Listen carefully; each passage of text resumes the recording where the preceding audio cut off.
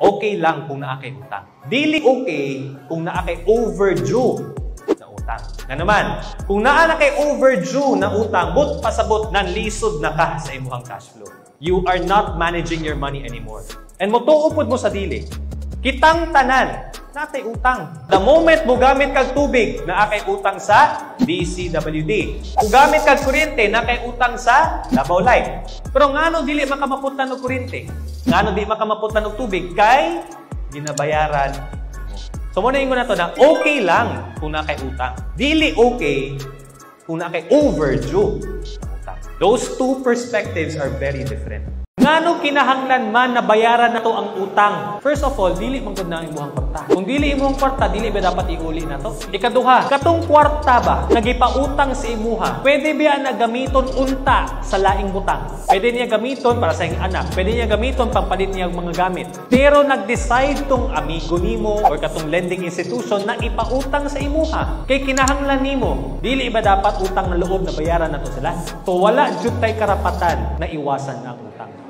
Kung saan pagbayad sa utang, three steps. Step by step process ni siya. Una, kinahanglan na to dawaton na naatay utang. Dili ta pwede muli kay inig paningil. The reason why masuko ta usahay pag paninglo na ta kay wala man na to gidawat ang sitwasyon.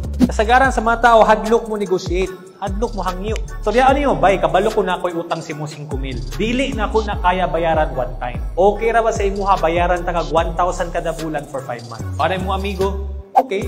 Or kaya manay mong kapamilya na, ah, sige, pero dungagan na natong isa ka bulan para interest. Mahulog, 6 months mo bayad, 1,000 per month, 6,000 imong bayaran. 5 mil ang principal. Hindi makakinanglan maulaw because you have the intent to pay. Pag once nag-negotiate na ka, naa na kay terms with that person, kung unsay status nimo dapat, bayaran nimo. Antusa lang, 6 months ka bayad, 5 months ka bayad, kay kailangan man. Pero lami ang feeling pag once may invest na. Para mas mapadali ni bayad ang imuhang utang, you also have to increase your income. Habang ginahimo ni mo ni, habang nag-negotiate ka, habang ginabayaran ni mo, better increase mo income ni mo. Why?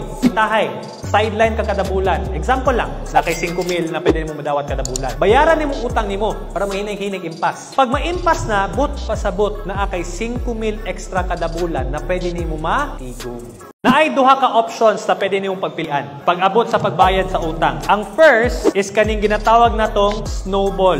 Unahon nimo ang utang na pinakagamay interest ug ang pinakadali nimo bayaran. Ang ikaduha na pamaagi is what you call avalanche method. Unahon nimo ang pinakadako na interest. Pag once na snowball method imong gamiton, ang imong ginaapas jud is progress. Kay pag once maimpas na ko ang bayad, ang utang na ko kay Sir John, na ako'y feeling na na ako'y progress. Na-check na ko eh. Sa tulo na kong giutangan, na-impass ng isa. Ang problema lang ani na method, kay mas dako ang sumatotal na interest na imong bayaran. Kaya giuna man yung pinakadali. Ang avalanche method, imo ang tumong ani is less interest. Pag mathematically, this makes more sense. Pero either way, pag himuon ninyo ang snowball or avalanche, you are able to pay off your debts.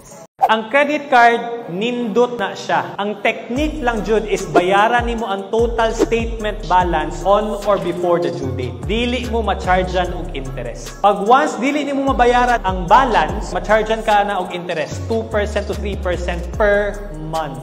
Credit cards are good if you know how to pay it. Just like debts are good if you know how to pay it. Kinsa ba ang naghuna-huna na ang utang kay dautan na siya? Ang utang na ay duha ka klase. First is what you call bad debts. Nangutang ka og mga butang na dili makatabang sa imuha to generate money. Kintahay, nangutang ka para makapalit og cellphone na mahalon aron ingnon dato ka. Ang isa ka klaseng utang which is opposite ani is what you call good debt. Mao ni ang ginahimo sa mga negosyante, mao ni ang ginahimo sa mga taong bright katong ilahang kwarta nakuha, gamito nila pang negosyo, ang negosyo mo kita, mo ginansa, then bayaran nila ang utang nila, pero they were able to make money out of it.